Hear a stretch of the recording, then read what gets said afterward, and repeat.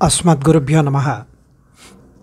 பெரியாழ்வார் திருமொழி மூணாம் பத்து ரெண்டாம் திருமொழி அனுபவம். அஞ்சு பாசுரம் நேற்று அனுபவித்தோம் இன்றைக்கி ஆறாவதுலேருந்து. மிடரு மெழு மெழுத்தோட வெண்ணெய் விழுங்கி போய் படிறு பல செய்து இப்பாடியெங்கும் திரியாமே. கடிறு பல திரி கான் அதரிடை கன்றின் பின் இடரவென் பிள்ளையை போக்கினேன் எல்லே பாவமே. என் மகனான கண்ணனை வெண்ணையை கழுத்திலே உறுத்தாமல் மெழுமெழுன்னு வழுக்கிண்டு ஓடும்படி விழுங்கிவிட்டு பிற வீடுகளுக்கு வீடுகளுக்கு போய் திருடி பல கள்ள வேலைகளை செய்து இந்த இடைச்சேரி முழுவதும் கொட்டமடிக்காமல் திரிய ஒட்டாமல் பல காட்டு ஆணைகள் திரியும் அந்த காட்டு வழியிலே தட்டித் திரியும்படி அவனை கன்றின் பின் போக்கினேனே. என்ன பாவம் பண்ணியிருக்கிறேன் நான்? வள்ளி நுடங்கிடை மாதர் வந்தளர் தூற்றிட துள்ளி விளையாடி தோழரோடு திரியாமே. கள்ளி உணங்கு வெங்கான அதரிடை கன்றின் பின் புல்லின் தலைவனை போக்கினேன் எல்லே பாவமே.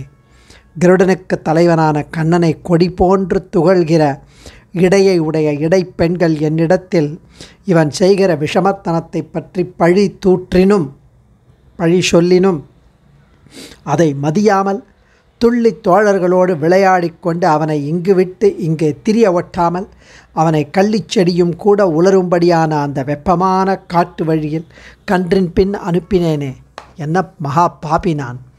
பன்னிரு திங்கள் வயிற்றில் கொண்ட பாங்கினால் எண்ணிளங்கொங்கை அமுதமூட்டி எடுத்து யான். பொன்னடி கோல புலரியே காணிற் கன்றின் பின் என் சிங்கத்தை போக்கினேன் இல்லே பாவமே. என் சிங்கக் குட்டி போல இருக்கிற அந்த குட்டி கண்ணனை பன்னிரண்டு மாத காலம் என் வயிற்றில் வைத்து அவனுடைய அன்பு தாயாகிய நான் என் நிலம் கொங்கையில் உண்டான பாலை அவனுக்கு உண்ணக் கொடுத்து இங்கேயே இருக்க விடாமல் விடியற்காலையில் எழுப்பி அந்த அழகிய சின்ன திருவடிகள் நோவ காட்டிற்கு அனுப்பினேனே. என்ன பாவம். குடையும் செருப்பும் கொடாதே தாமோதரனை யான்?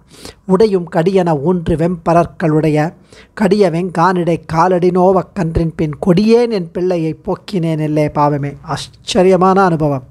என் மகனான கண்ணனை குடை செருப்பு இதெல்லாம் கொடுக்காமல் கொடியவளாகிய நான் சூரியனின் வெப்பத்தால் உடைந்து கிடப்பனவாய் அந்த கூரியமான அந்த க கல் குத்து கல் உறுத்துவது போன்ற அந்த கற்களை உடைய அதி உஷ்ணமான காட்டிலே அவன் காலில் உறுத்த காலடி நோவ கன்றின் பின் அனுப்பினேனே. எல்லே பாவமே என்றும் எனக்கு இனியானை என் மணிவண்ணனை கன்றின் பின் போக்கினேனே என்ற யசோதை கடறிய பொன்திகள் மாட புதுவயிர் கோன் பட்டன் சொல் இன் தமிழ் மாலைகள் வல்லவர்க்கு இடரில்லையே. எப்போதும் தாயாகிய எனக்கு இனிமையை தருபவன் என் நீலமணிவண்ணன் என் அழ வடிவழகன் கண்ணன்.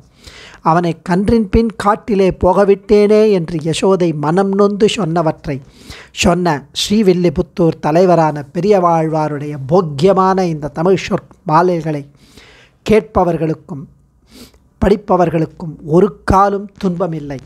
பெரியாழ்வார் திருவடிகளே சரணம். அடியேன். தன்யோஷ்மி